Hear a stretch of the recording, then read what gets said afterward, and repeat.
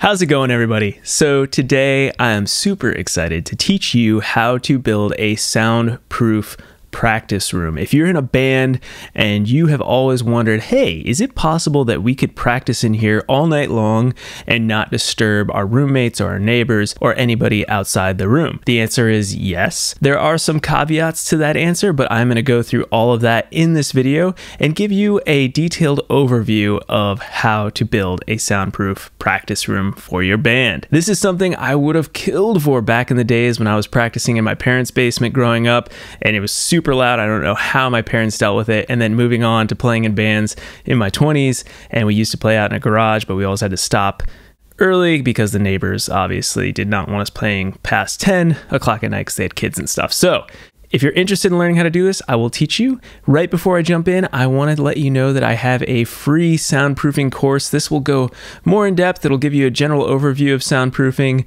uh, and you'll learn a lot from that. So definitely check that out in the notes below. All right, without further ado, let's jump into the video.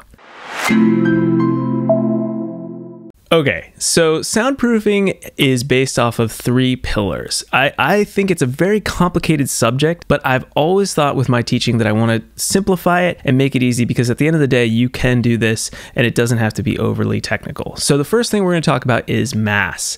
Mass means weight, it means heavy stuff on your floor, on your walls, on your door, on your ceiling, your windows. Everything involved with soundproofing is about creating as much mass as possible to stop that sound from coming in your room.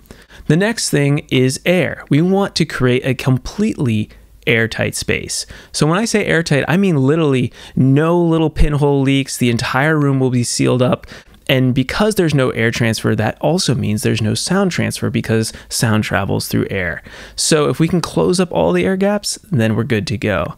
The last piece, the third pillar of soundproofing, is transmission. So, with transmission, I'm talking about sound being transmitted from the outside structure to the inside structure. So, to reduce the sound transmission or completely eliminate it, we have some techniques in soundproofing that make it so that sound cannot travel from the outside wall to the inside wall. So, we'll go a lot more in detail about that in a second. So, I just wanted to go over those three pillars of soundproofing. Again, that is mass, airtight, transmission. All right, keep that in the back of your mind as we go over this build. All right, so let's start with your floor. The floor is a very important part of your soundproofing design.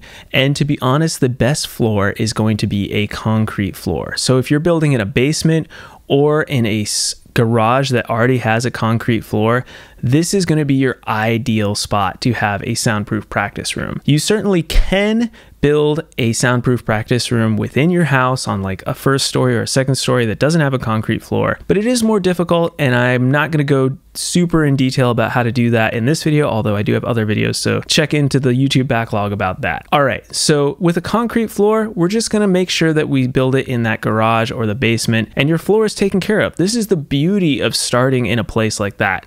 With my own studio, I built it up from the ground up, so I poured my own concrete. It's very costly, not super highly recommended if you already have a basement or a garage, but you know, if you wanna do what I did and you're crazy, you can also pour your own foundation as well. Next, we're going to talk about your walls. So, with a practice room, you're going to probably have drums and bass, and you're probably really freaking loud. Now, if you're just an acoustic folk band, then I probably don't know why you're looking at this video, but you wouldn't need this type of soundproofing. So, I'm assuming that you have a really loud band and you are trying to make sure that this thing is as quiet as possible on the outside. So, to achieve that, I highly recommend doing the highest level of soundproofing, which is what I call double walls. So, the double wall walls essentially are you're going to have your outside wall structure, whether that's in your basement or in your garage walls. And then you're going to build a second set of walls framing one inch from the outside of that wall. So this is creating an air gap. So we're going to frame your walls like you would build any house, any structure, just normal framing. And you're just going to build it with a one inch perimeter around the inside of your room. So those walls are not touching.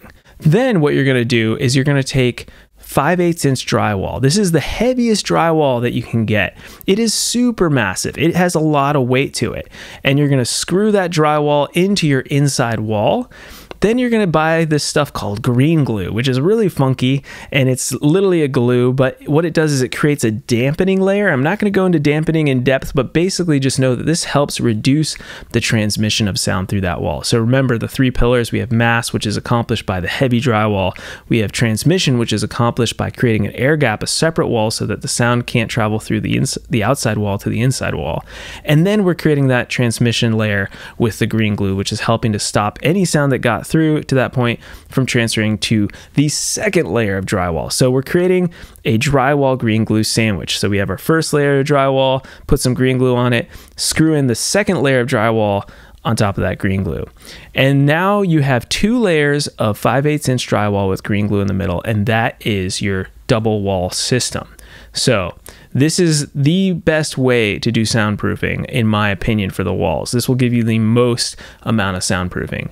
Now, when you finish that second layer drywall, you can go around with acoustic caulk and acoustic caulk the floor, the, the corners, and the ceiling joints so that everything is sealed up.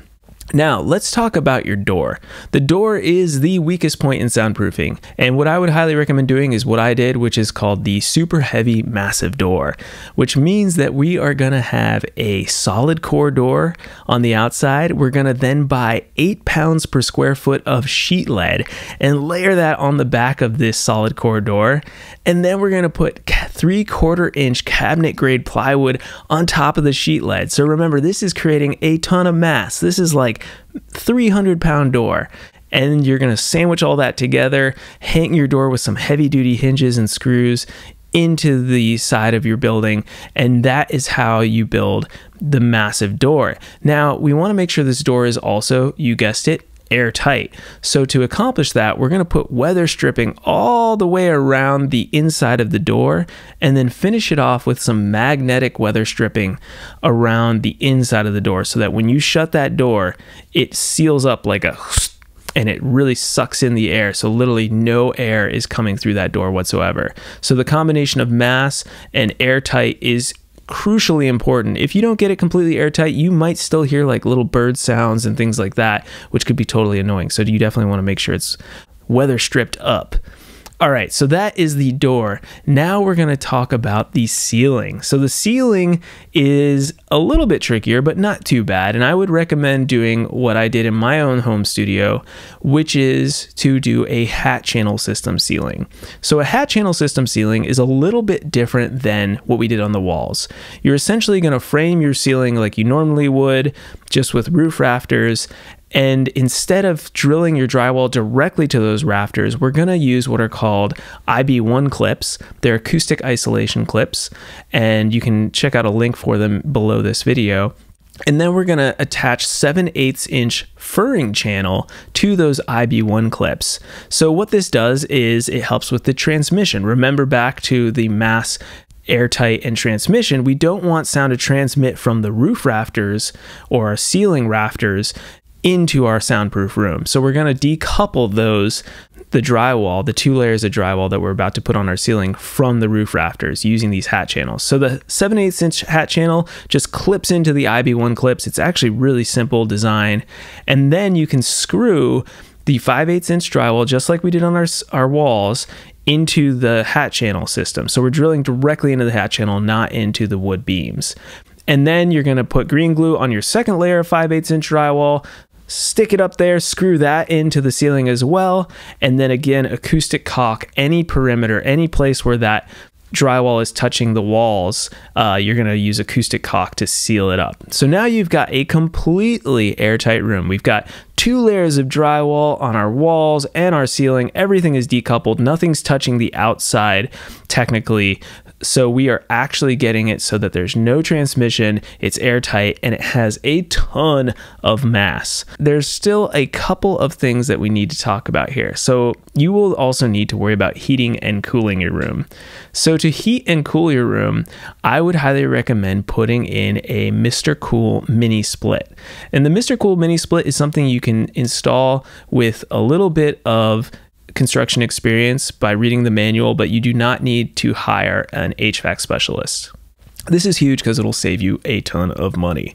So we used a Mr. Cool mini split in my studio and it's worked great. It's super quiet, which is amazing. It even has a silent mode. So it is a great option for a simple design and you can just simply install it on the wall, send it through your double wall system and then out to the compressor on the other side. So that that is a huge awesome thing for soundproofing because it makes it a lot easier than having to run ductwork and all this stuff like that.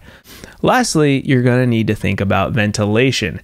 Ventilation, eh, you might think comes from that mini split or opening and closing the door, but you're wrong because this is a completely airtight room. Therefore, there's a buildup of CO2, there's a buildup of smells. You want to make sure that there is airflow to and from your room, especially if you're playing in a band. You're going to have five, six people in there at a time, and you want to make sure that there's not this buildup of heat and CO2. Everyone could get kind of sleepy and tired if you have too much CO2.